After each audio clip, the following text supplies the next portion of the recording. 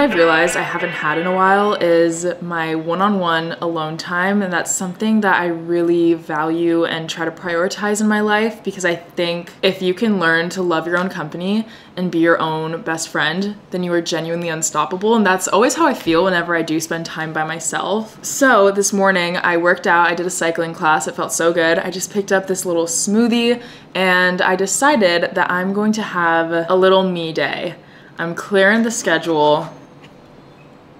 I have no business doing that, but it can wait. This is important to me today because I feel like it's been a while since I've reconnected with myself, which sounds dramatic, but I feel like my energy has just been everywhere else with work stuff, personal life stuff, and I don't know, I feel like I haven't prioritized myself in a little bit. I'm gonna get in a better balance with things, which I know will happen. You know, sometimes the balance gets thrown off, but today I'm gonna show you how to be your own best friend and what I like to do when I spend time with myself. So I made a little plan for myself today because, you know, you gotta treat yourself like you would treat one of your closest friends, one of your favorite people. Plan a little day for yourself. It's all of my favorite things that I haven't really done in a while and I, in general, I just haven't really spent that much time by myself lately, which I really missed. I know the idea of doing things alone can be very daunting, especially if you haven't done it before, because that was me, and I was so scared to do things alone.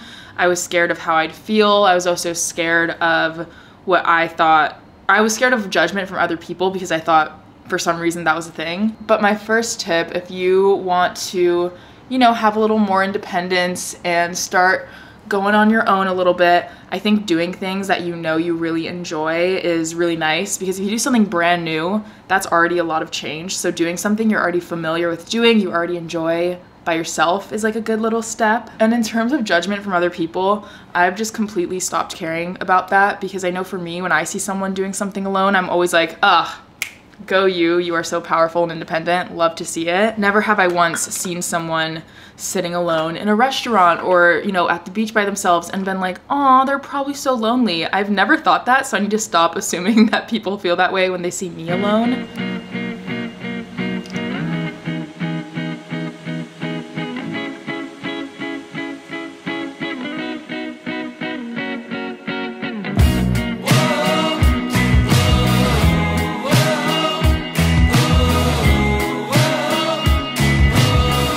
I am about to get some, I was about to say breakfast, but I had a little bit of a late start to my day, so I'm gonna get some lunch by myself.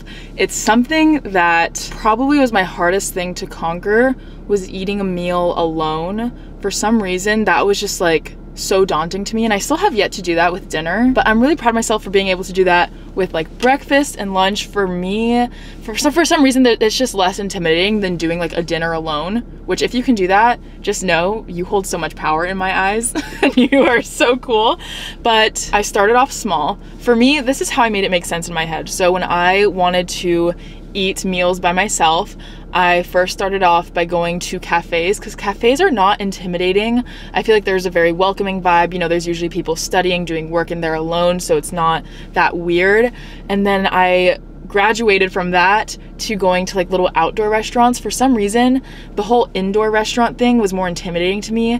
And now, as of recently, I've been doing like indoor restaurants by myself, which is still a little bit scary. It, you know, raises the heartbeat a little bit, but I'm doing the dang thing. I don't know, it's nice to make plans with yourself and it's also nice to not have to rely on going with somebody else to do something that you want to do because whether or not someone's available, there's just all these like variables with hanging out with other people, which I love hanging out with other people, and I love sharing meals with people too.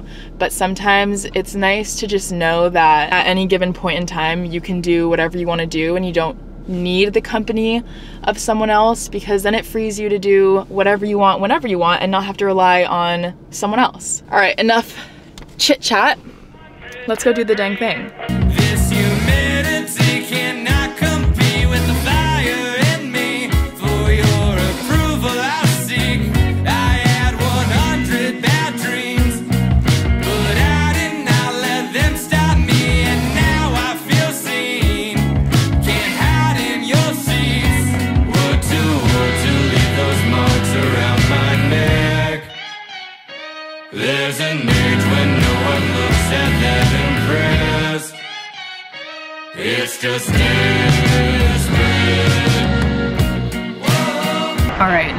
This one's a little bit tempting for me, but I love to go book shopping alone. I'm gonna try my best not to go too crazy because you guys already know my issues with buying books and then not reading them for a long time, whatever, but I have been wanting to go on a little book shopping moment for a minute now, so I'm very excited.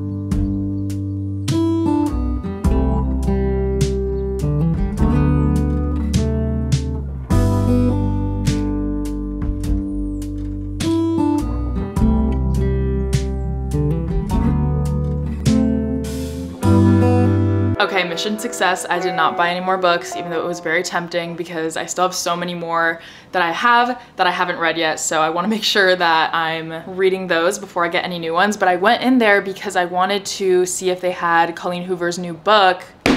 They didn't, but I came home, I went to the mailroom and I forgot I had pre-ordered it on Amazon. It's It Starts With Us. It's the prequel to It Ends With Us. But I'm also feeling really happy because I didn't realize that there's a new version of the Verity book, which if you haven't read Verity, it's one of my all-time favorite books. It is so messed up and dark and twisted and I just, it was a crazy read. I didn't realize that she released another Verity book, but this one has an exclusive extra chapter that kind of wraps up the story because it kind of just ends and you're like, okay, manuscript or letter, what happens next, what is going on. It kind of ends really abruptly.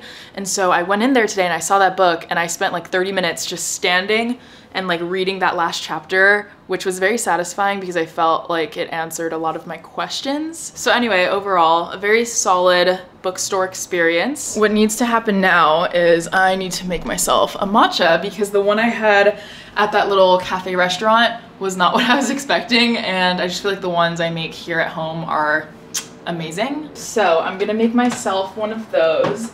It's funny because obviously I live alone and you would think that because I live alone, I naturally just spend a lot of time with myself and I definitely do.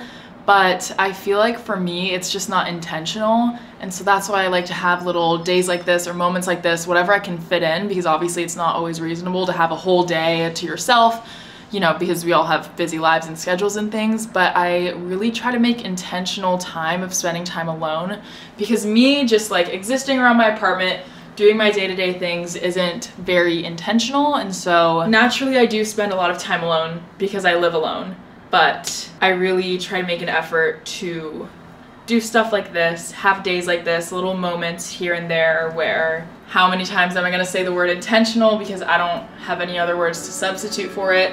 I don't know.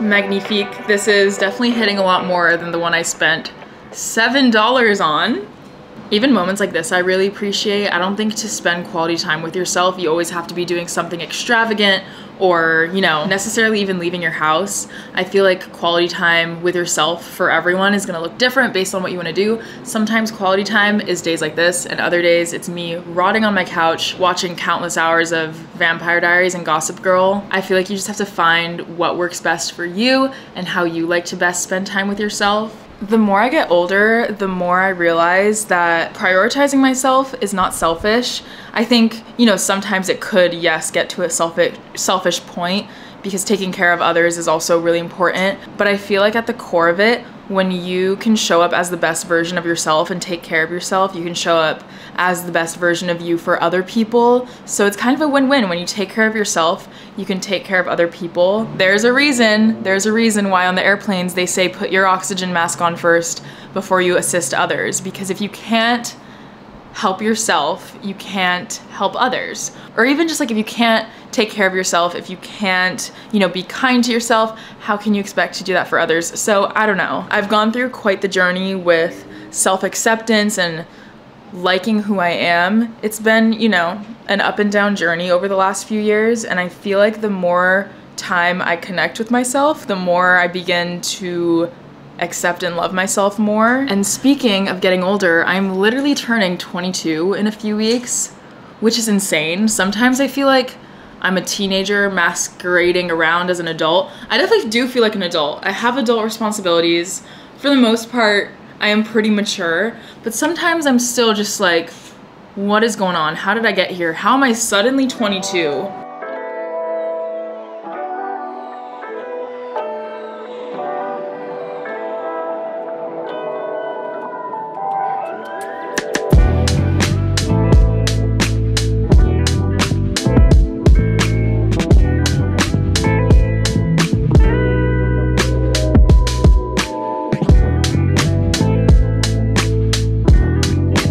Currently rotting in some afternoon rush hour traffic, but I'm having a great time listening to music. My windows were down. I'm going home to visit my parents and Coda for dinner tonight, which I'm really excited about.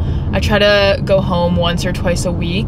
I started this vlog clip because I just remembered a while ago on my podcast. If you don't know I have a podcast, I do. It's called On My Mind, and I very recently did an episode. I think it's titled how to become your own BFF and what I like to do alone. So if you like this whole topic, if you've been liking this video so far and you like podcasts, I feel like that would be a good one to listen to. Also, in other exciting news, I just officially bought my first car today. I made the payment for it. It was a little painful and she doesn't come in until I get back from my trip. This car is a lease, so my three years are up and I bought kind of my dream car. My dream car is a vintage Ford Bronco that's like refurbished and in a sage green, but that is $275,000. So not that dream car, but like my realistic dream car.